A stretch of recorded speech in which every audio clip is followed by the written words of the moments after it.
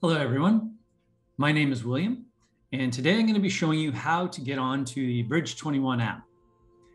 When you first turn on your computer, your laptop, or your Mac, first thing I need to do is open up one of my browsers. There are three browsers that I use. You may have a different one. It doesn't matter which one you use, they will all will work. I have Brave. I also have Internet Explorer here down at the bottom, and I have Google Chrome, which is this round symbol. I'm going to use Google Chrome. So I'm going to go ahead and click on Google Chrome. It will bring up my search window. Um, what we're interested in here is this search bar in the middle. My search bar says search Google or type a URL. I know a lot of you may have a white background doesn't matter. You may have a colorful background, doesn't matter. What you do need to find is that search bar.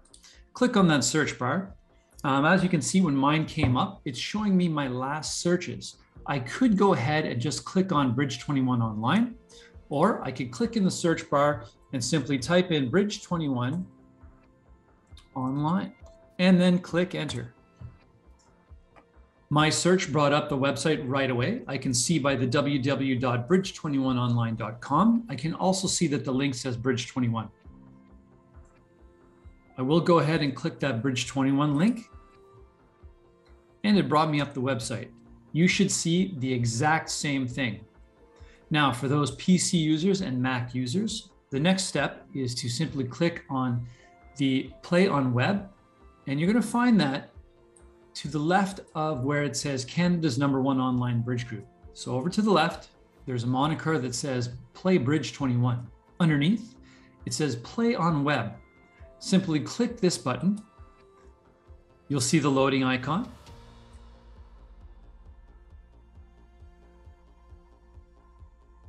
This is all normal stuff, by the way. It, it's, it's loading up the app into your browser. Now, I have logged in before. That's why I see touch to start. Once you've logged in, this is all you'll need to do at this point. Press touch to start. I'm going to click on this login icon and it's going to bring me back to what you will see when you first log into this website. Um, I'm going to go to the bottom and I'm going to sign in with an email. Right now it's asking for my email address and it's asking me for my password.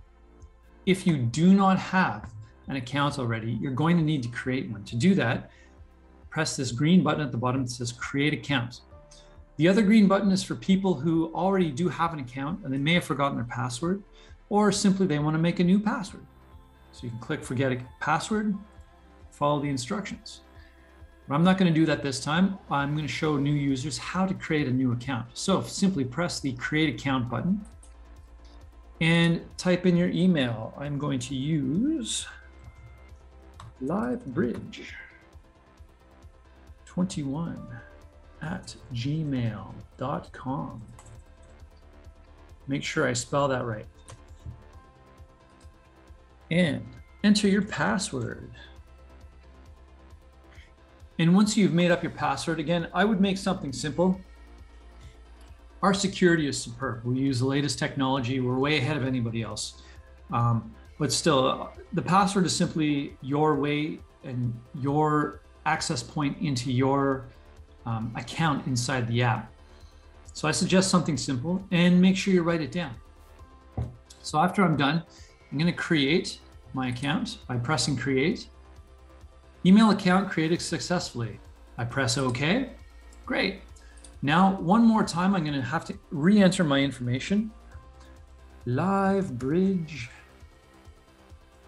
21 at gmail dot and then I enter my password. And I press log login. Now, the next thing, if this is your first time logging in, um, it will ask you to enter a unique username. It could be any name you want. You could use your real name. You could use a name you made up.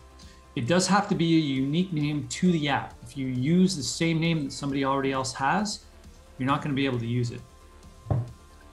So I'll make up my name, Live Bridge 21. Once I'm satisfied with my name, I'll press confirm. And there, I'm inside the app. Once again, you can change your name anytime you like. You can go up to where it says Live Bridge. I'm going to click on that name. And it brings up my profile, change username. I'm going to change it to, let me see here.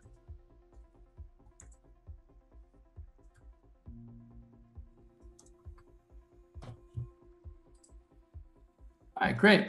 Once I'm finished here, I can simply click X. Oh, great, my name's been changed. A second. So from the lobby, if you do need to purchase, say, more coins or more diamonds to uh, play more of the uh, higher end games, you can go down to where it says shop at the bottom and click on that grocery cart. Now, our app is new. We are giving away a few freebies at the moment. So we have 5,000 free coins. To get those, I simply need to press the green button. It says it's charging you zero diamonds. So it won't take away any of my 100 free diamonds that I've been given. Click that zero. It's going to ask me, am I sure? Yes, I'm very sure. All right, purchase successful. And look at that. I've got 5,000 free coins.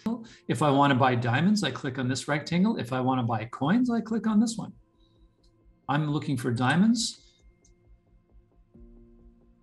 And I can choose my diamond amount. You will notice that the higher you go up, it does give you free amounts of diamonds. Um, the other important thing to note is if you're buying diamonds inside the app on the website or a browser, it's going to be cheaper. Um, you don't have to pay the Apple tax or the Google tax. So me, I am going to play a tournament later on, so I need to buy $10 worth of diamonds, you will buy 1,200 diamonds. Go to pay. I'm going to use my debit card. And I simply need to fill out the information. And once I'm done filling out the information, I click on Pay Now. You will get a receipt in your email. And if you do have any problems, uh, feel free Now that I'm finished here, I will go back to the game. And it brings me back to the mall. To get out of the mall, I simply need to press the back button. There, it takes me to the lobby. In this section of the video, I'm going to be showing you how to join a game. For now, you need to click on the tournament area, which is this diamond shape. It will bring you into the tournament section. You need to click on which tournament you would like to join. Um, for now, we only have one area, the Bridge 21 area. Now you have three options here. These options are very important. For one, this area shows you your game history. You can go into any game that's been played and take a look at all the history, the way cards have been played, the way hands have been played. Or you can go into register. And in, in the registry area, you can find games. Um, if I'm looking for a specific game, I can simply come over here to the left, click on the name and type in my game. I'm gonna just type in Gord and press search. Ah, excellent, it brought up Gord's Saturday game. Now to join this game, I do need to enter it. Um, to do this, I simply need to click on this green rectangle. It will bring me into the registration desk. I can click on the registered button to see who's already registered. Nobody's registered yet. I'm going to click off to the register area and I'm going to find a partner. I can also specifically in, invite a partner if I know their specific name for this game.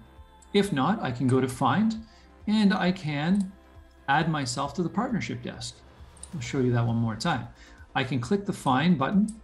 It will bring me to the partnership desk and I can add myself as I pay or partner pays.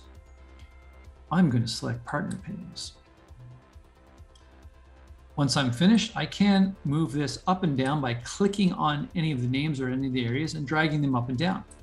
There are only three people at the moment in this game.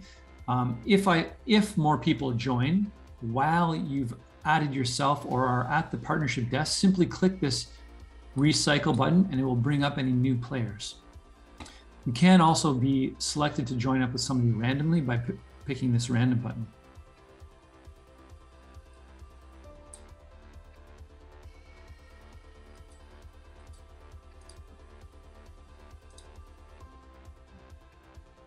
In the next video, I'm going to be showing you how to play casual games. So thank you very much, and we'll see you around and hope to see you in one of our games.